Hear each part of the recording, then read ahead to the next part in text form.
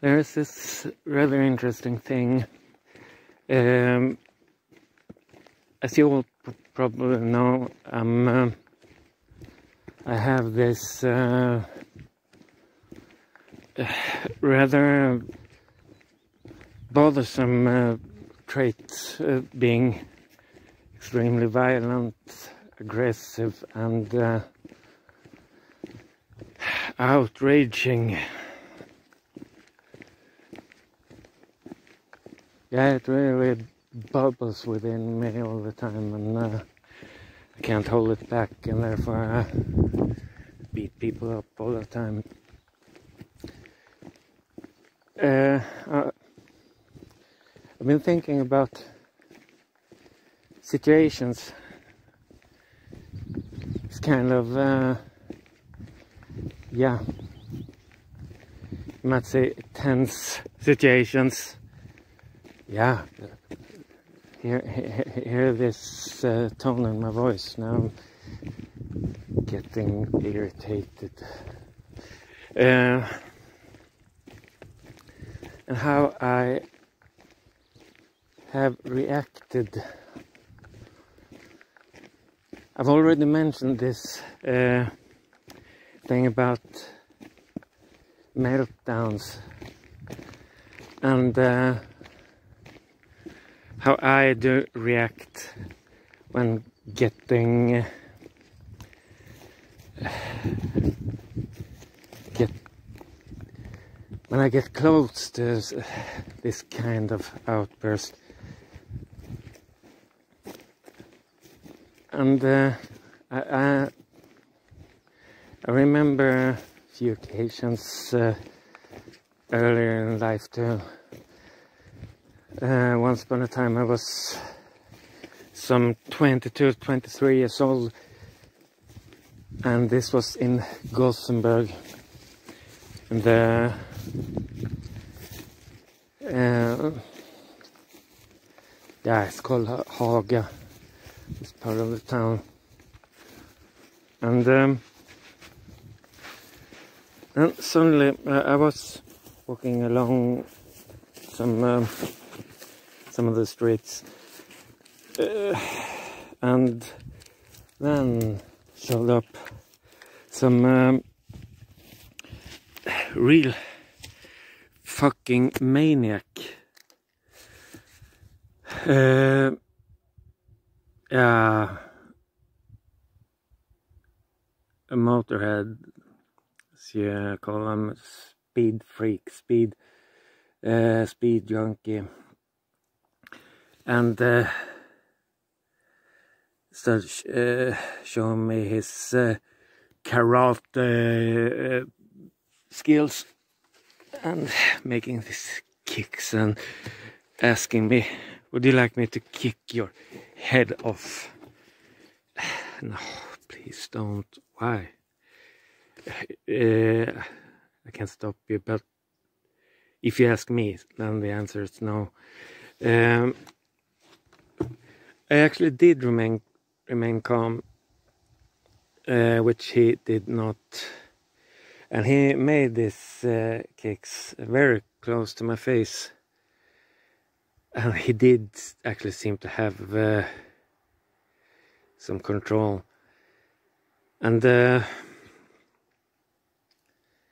yeah, I decided that I am probably in no emergent danger uh, I, will not die.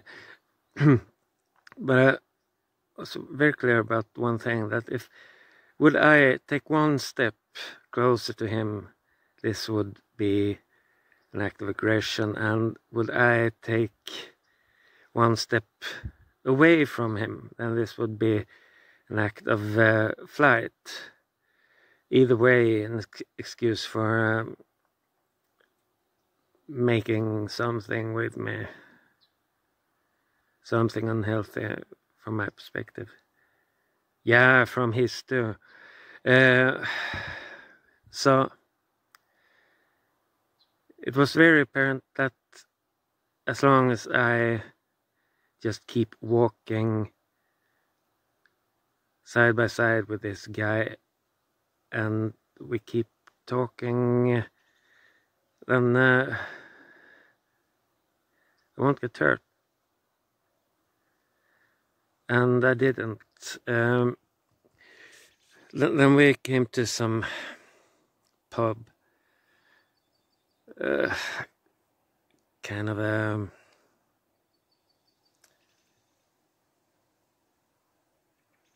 um, one of these uh, standard places for the alternative people and we entered this place. And then there were some um, Rasta Rastafari guy. And this uh, junkie approached him and yeah uh, he performed the same show that he had already done with me. Uh, this guy wasn't really that accepting. Uh, he was like uh, in the in his own mists and uh, had this big uh, fucking cap on his head and uh, he was sitting there alone with his beer and uh, just looked up at this uh, speed junkie uh, because he, he, kept doing his show. Uh, would you like me to kick you in your head? And this guy just, I'm a Jamaica man. Yeah, uh, uh, would you like me to kick you in your head? Wanna fight? Yeah, let's go out.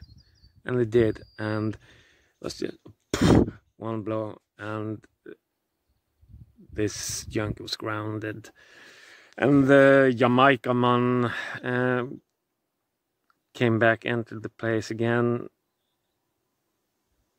and yeah, this beer of his.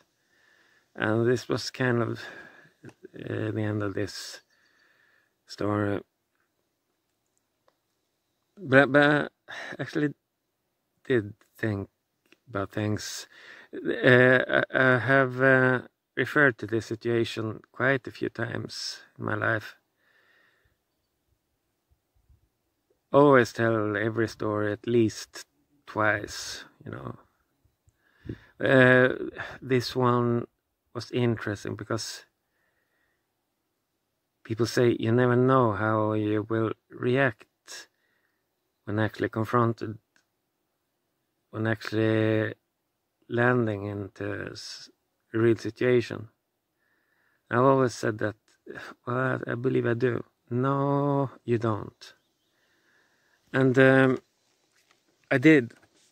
And yeah, pretty much as I had predicted. And the reaction from this counterpart was very much as predicted too. And uh, I've had this confirmed quite a few times, really.